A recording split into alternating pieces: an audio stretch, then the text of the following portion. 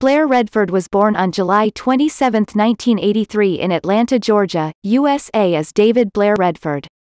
He is an actor and producer, known for The Day the Earth Stood Still 2008, Satisfaction 2014 and Burlesque 2010.